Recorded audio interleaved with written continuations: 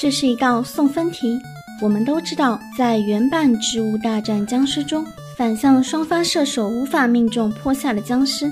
在反向双发射手左边放置一个火炬后，火焰豌豆就能命中僵尸。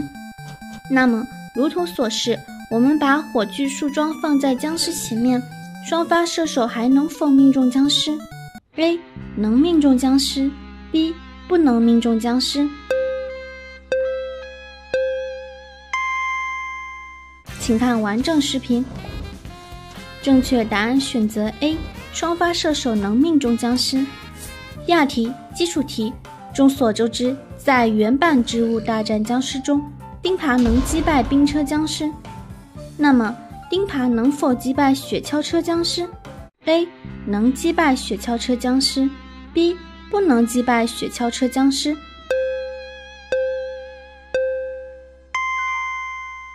请看完整视频。正确答案选择 B，钉耙不能击败雪橇车僵尸。第三题易错题，如图所示，在草坪尽头只有一个脑子防御。那么，在原版《植物大战僵尸》中，倭瓜僵尸能否进入房子里？A，倭瓜僵尸能进入房子。B，倭瓜僵尸不能进入房子。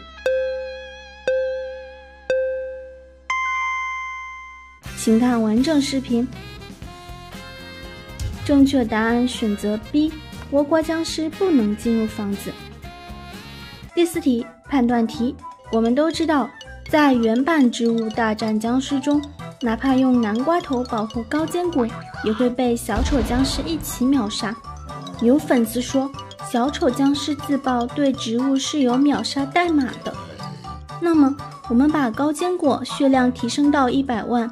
小丑僵尸还能消灭高坚果吗？A. 小丑僵尸能消灭高坚果。B. 小丑僵尸不能消灭高坚果。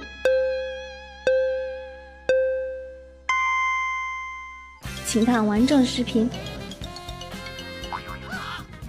正确答案选择 A. 小丑僵尸能消灭一百万血量的高坚果。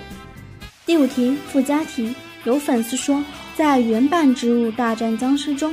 僵尸在啃食魅惑菇后会自带虚弱效果，在同等血量的情况下，魅惑僵尸就是打不赢僵尸。请问这是不是真的？A 是真的，B 是假的。